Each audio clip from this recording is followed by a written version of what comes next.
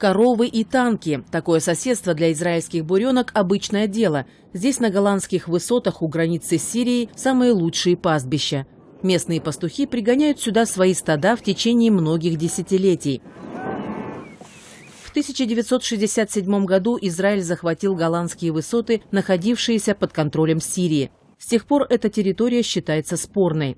На израильской стороне остались старые минные поля, установленные сирийцами. Пять лет назад подразделения Цахал также начали устанавливать минные заграждения. Место выпаса коров пастухи каждый раз обговаривают с израильскими военными.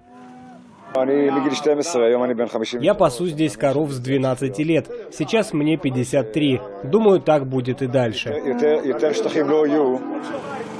На голландских высотах живут около ста пастухов. Нередко они сталкиваются с опасностями. Бывают случаи, когда коровы заходят на минные поля. Как-то раз стадо даже попало под минометный обстрел со стороны исламистской группировки.